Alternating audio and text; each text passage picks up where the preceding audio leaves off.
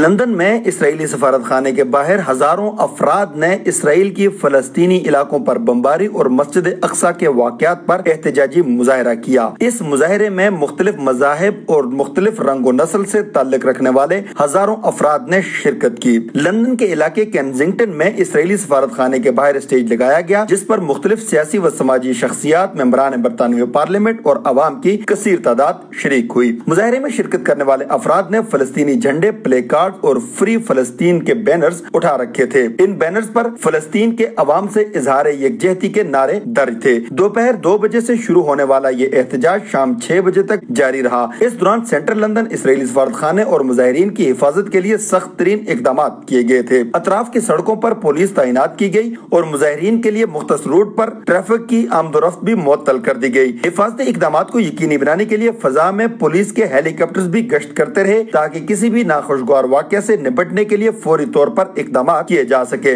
Israeli सफारखाने की हिफाजत के लिए पुलिस ने रुकावटें खड़ी कर रखी थी। इसराइल की जारियत के खिलाफ लंदन के अलावा बरतानिया के दीगर शहरों बर्मिंगम मानचेस्टर लीड और ब्रेडफोर्ड में भी मुजाहरे किए गए। इसराइली जारियत में दिन ब दिन इजाफा होता जा रहा है। गुजश्ता रोज इसराइल के 160 लड़ाका त्यारों ने 40 मिनट में फलस्तीन के 150 मकाम पर मिसाइल दागे। इसराइली जारियत से अब तक 31 बच्चों और 19 खातन समेत 119 फलस्तीनी शहीद और 850 जख्मी हो चुके हैं। लंदन में होने वाले मुजाहरे में मुख्तलिफ़ तंजीमों की जानब ऐसी लीगल ऑब्जर्वर्स भी तैनात किए गए थे, जो सूरत हाल को मॉनिटर कर रहे थे। Mohammad Rafiq Mughal, JK news, London.